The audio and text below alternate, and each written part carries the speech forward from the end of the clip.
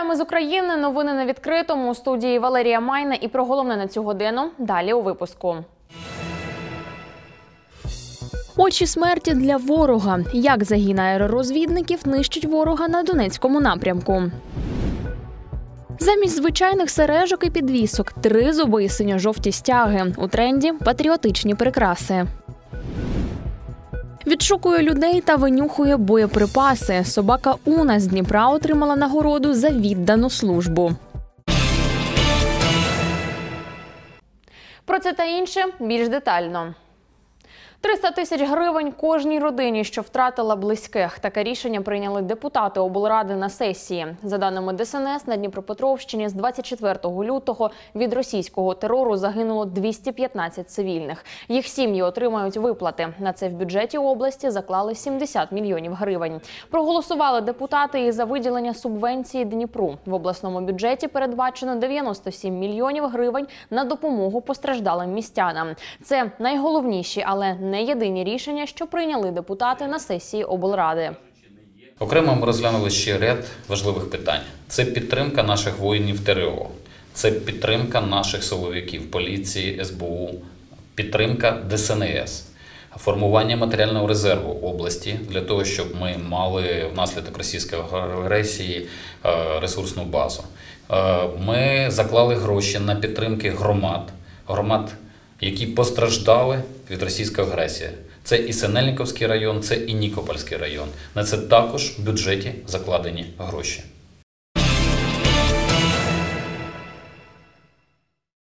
Очі смерті для ворога. Так говорить про зведений загін аеророзвідників його командир. Їх семеро військові коригують вогонь танкістів і артилеристів, та й самі влучними пострілами безжально нищать російських окупантів. Раніше ця група одного із стрілецьких батальйонів працювала на Херсонщині. Нині продовжують боротьбу з ворогом на найгарячішому напрямку Донецькому. Як хлопці тренуються, збирають боєприпаси для дронів та полюють на рашистів. Дивіться в сюжеті. Картинка є. Перший на взльот.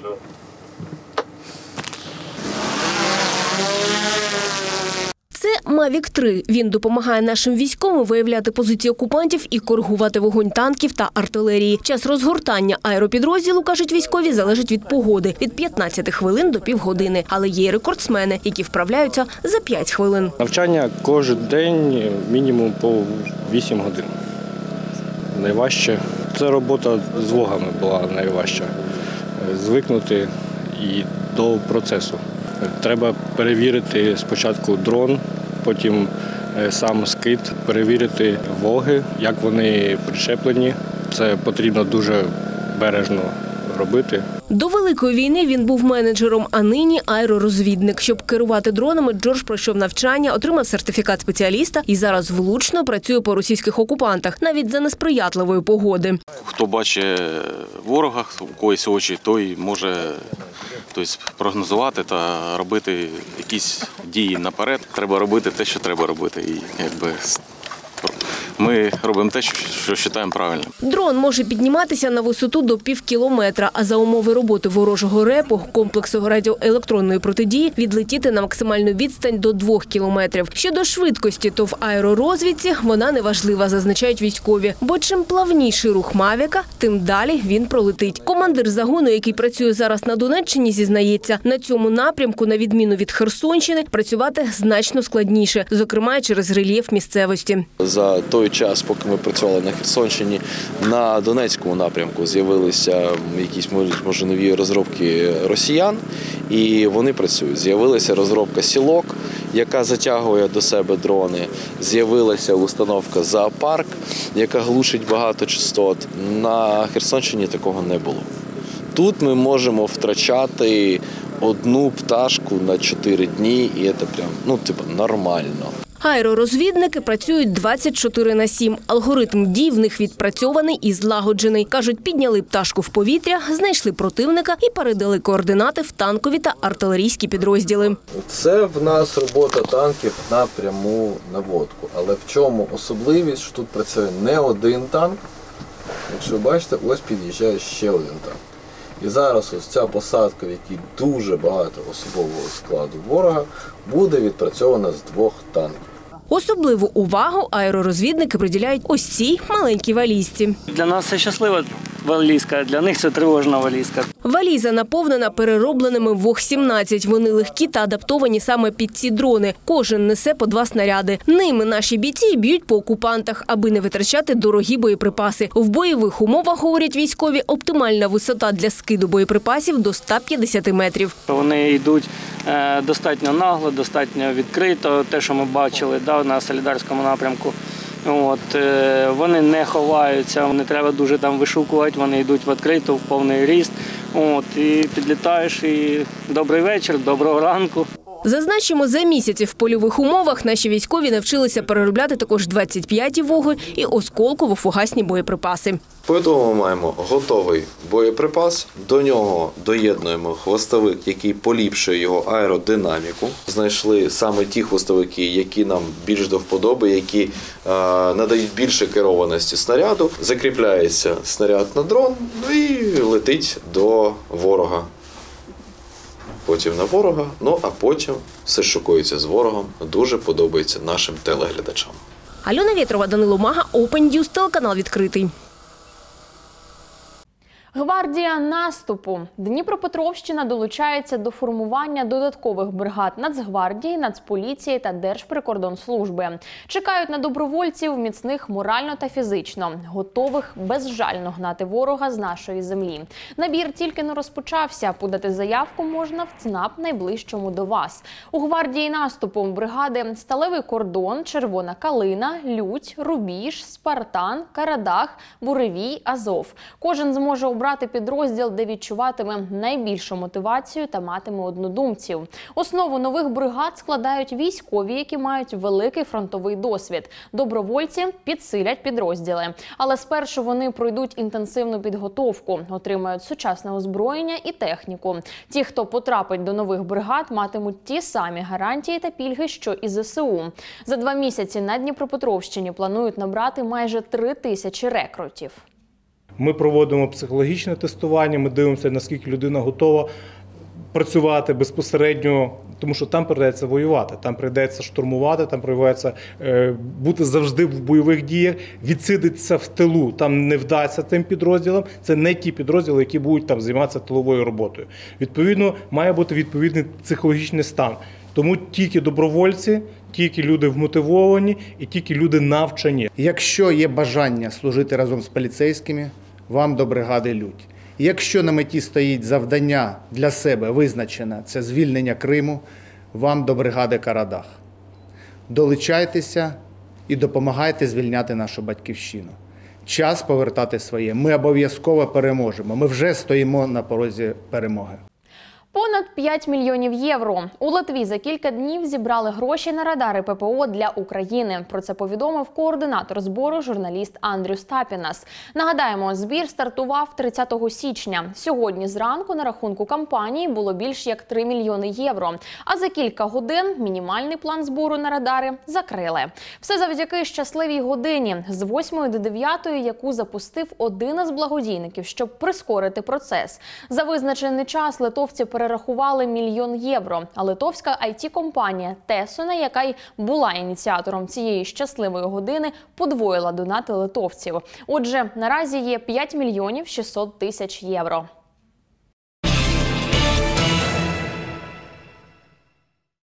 Генератор за 25% від вартості. У Дніпрі продовжують встановлювати генератори в будинках з власними даховими котельнями та насосними станціями. За задумом проєкту, багатоповерхівки ОСББ та ЖБК можуть отримувати альтернативні джерела живлення лише за чверть від ціни. Ще 75% витрат відшкодує міський бюджет. Лише за минулий рік за програмою співфінансування жителі багатоповерхівок отримали 43 генератори. Серед таких і ОСББ Ельбрус. Якщо не буде електропостачання в котельні, в даховій котельні не буде відповідно циркуляції води і система може розмерзнутися. Е, Для цього ОСББ е, придбало генератор за, е, за за участю Дніпровської міської ради, тому що Дніпровська міська рада сплатила 75% від вартості генератора, ОСББ сплатила 25%. І наразі ОСББ має можливість запускати як насоси, їх багато безпосередньо, так і е, дві е, газові котельні по черговості. Котельні та теплорозподільчі пункти на лівому березі Дніпра працюють у штатному режимі. Вони мають все необхідне, аби безперебійно постачати тепло у помешкання містян. Напередодні опалювального сезону зазначають на комунальних підприємствах.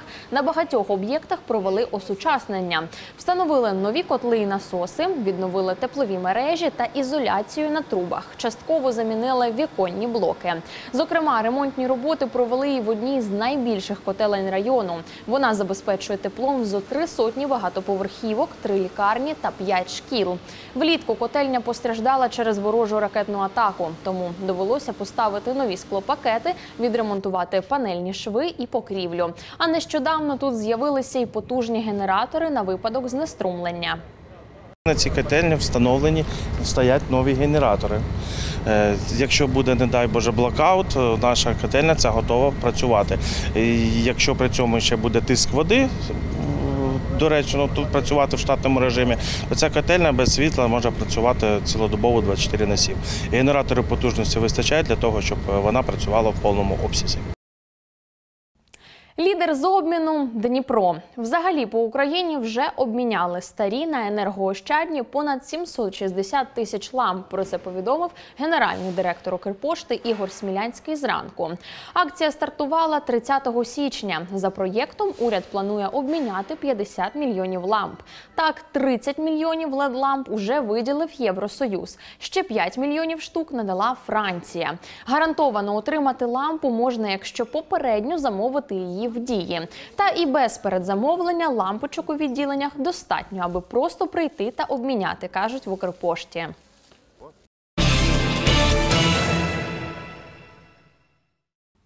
Відслідковували місця дислокації та переміщення української армії. Контррозвідка СБУ на Дніпропетровщині нейтралізувала російську агентуру.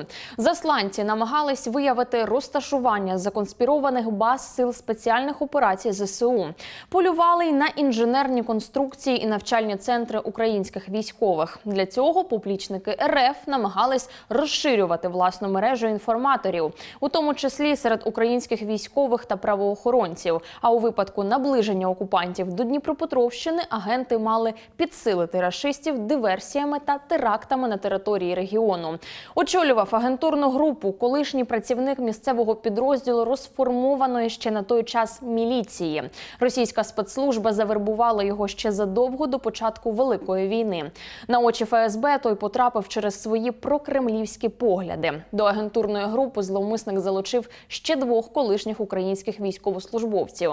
Розвіддані передавали через закриті канали. У разі захоплення Дніпропетровської області російські загарбники обіцяли своїм поплічникам керівні посади в місцевих окупаційних адміністраціях.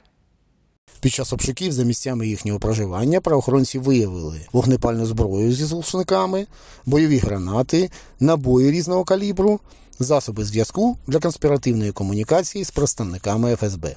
У межах кримінального провадження, розпочатого слідчими СБУ за статтею 111 Кримінального кодексу України, фігурантам повідомлено про підозру у державній зраді, а судом обрано запобіжний захід у вигляді тримання під вартою.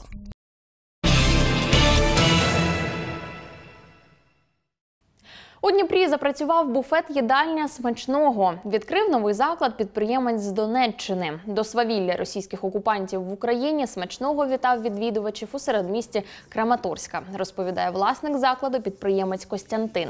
У рідному місті, окрім їдальні, чоловік залишив ще одне підприємство виробництво, де працювали чотири сотні людей і годувало дошкільняти школярів Донеччини. Відтепер підприємець відновлює свою справу з нуля у Дніпрі. Так, буфет їдальня смачного працюватиме з понеділка по суботу з 8 до 17.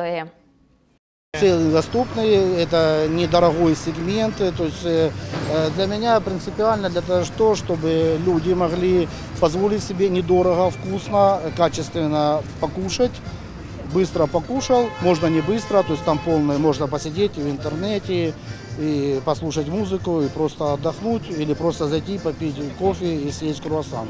Відкрили буфет їдальню за програмою релокації. Працює вона у два боки. Місто допомагає підприємцям-переселенцям облаштуватися у Дніпрі, а бізнесмени своєю чергою поповнюють міський бюджет податками та створюють додаткові робочі місця.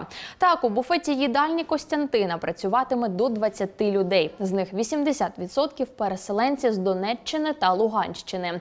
Всього на сьогодні до Дніпра переїхало 56 підприємств. З них уже 14 відновили свою роботу. Почали приїжджати релоковані бізнеси з різних прифронтових міст, таких як Бахмут, Краматорськ, Лисичанськ, Северодонецьк, Покровськ, Харків, в тому числі. І всі вони прохали про допомогу і потребували допомогу саме в пошуку земельних ділянок, в пошуку приміщень. По-перше, вони працевлаштовують в основному тимчасово переміщених осіб. Це знімає соціальну напругу з міста.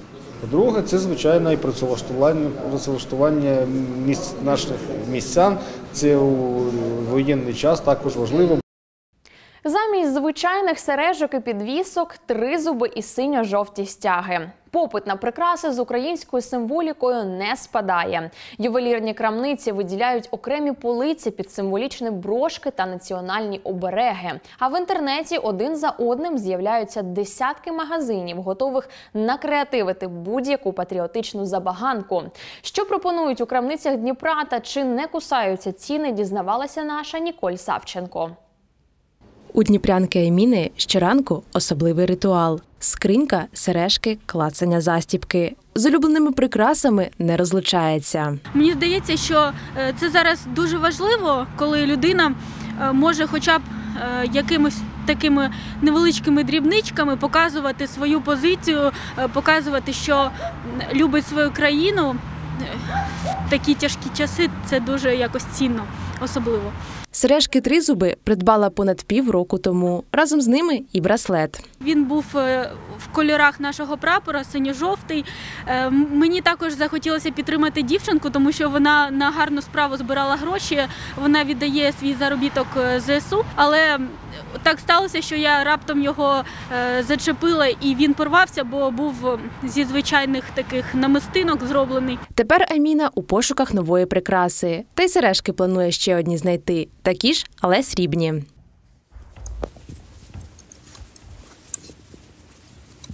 Де знайти особливу прикрасу, знає Марія. Вона разом з мамою Вікторією виготовляє патріотичні дрібнички власноруч. Серед синьо-жовтих виробів в'язані браслети, сережки, брелоки-пензлики, брелоки у вигляді долоньок, прапорів, сердець. Оце була наша перша прикраса, з якої все починалось. Це сердечко, з якого ми почали пробувати взагалі нашу справу і продавати їх на парку Дніпра. Перші прикраси майстрині продавали просто неба. Згодом заснували власний інстаграм-магазин. Творити почали з початком повномасштабної війни, переїхавши до Дніпра. Самі майстрині родом з Маріуполя. Для них це більш ніж просто хобі, говорить Марія. Наша місія просувати національну ідею, робити суспільство більш свідомим. Позиція це коли ти її проявляєш в якихось діях, Е, задонатити на армію, купити прикрасу, допомогти військовому в шпиталі. Ми просуваємо дії, а не тільки слова. Кожна прикраса крок до перемоги, говорять майстрині. Частину коштів донатять на ЗСУ, як і Олександра, власниця інстаграм-магазину патріотичних прикрас та прикрас оберегів. На виробах намагається ціни не накручувати, аби кожен міг дозволити собі символічний подарунок. А на ЗСУ донатить не лише з проданих виробів. 10% від е, один е, виробник е, пере, переводить кошти, інший виробник е, 15%. А в мене прям такого якогось відсотку немає конкретного. Це не тільки стосується е, тих коштів, які надходять мені з е, прикрас. Тобто, це ну це моя карточка, там є кошти з прикрас, і мої кошти, там якась зарплатня. І я просто там певну суму переводжу. Олександра продає патріотичні прикраси з медичного золота, срібла та срібла з позолотою. Часом і сама виготовляє окремі деталі.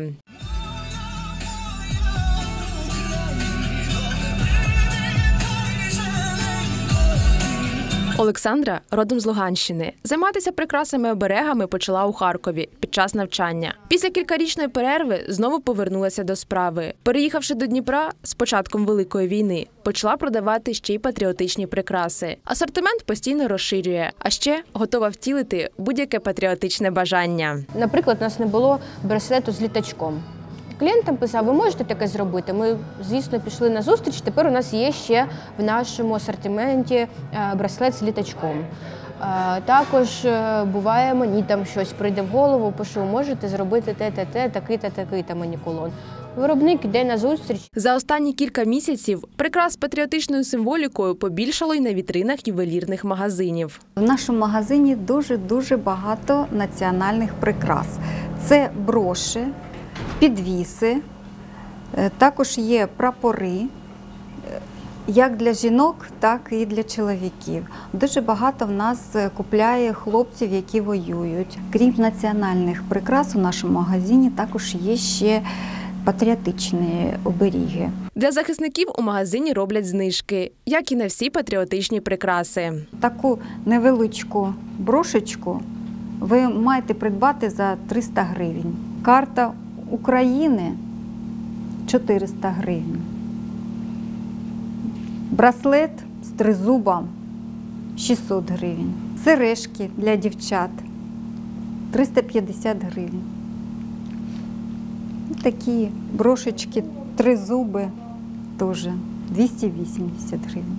Такі прикраси популярні не лише серед місцевих. До магазину час від часу заходять і українці з-за кордону, розповідає Тетяна, аби взяти з собою часточку батьківщини, що грітиме серце в будь-якому куточку світу. Ніколь Савченко, Лада Донець, Олег Радіонов, Юрій Смірнов, Open телеканал відкритий.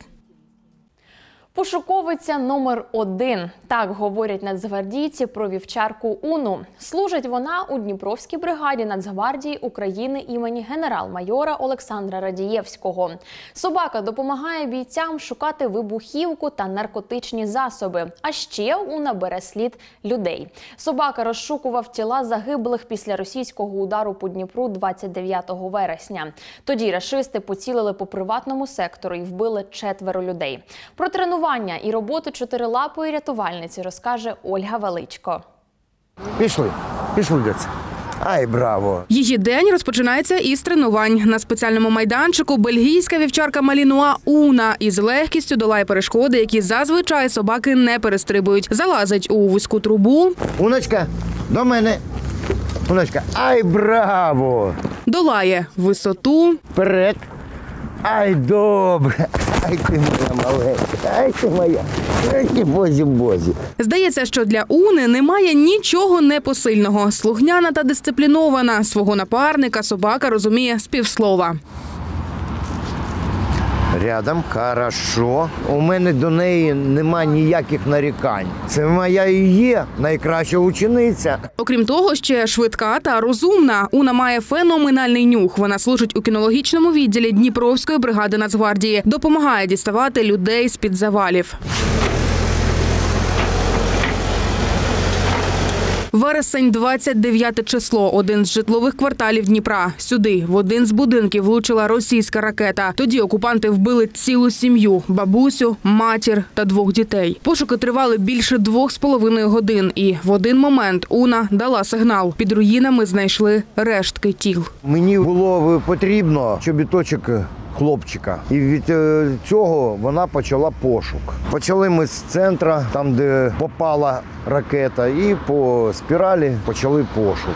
Ну і якраз почти там, де сидів цей Крим, вона е, знайшла, як з'ясувалося, що там знаходяться загиблі. Це її був перший виїзд, і дай Боже, щоб він був і останній, щоб наші люди не гинули. За допомогу у пошуковій операції Уну нагородили медаллю за віддану службу. Да, Уночка, твоя нагорода.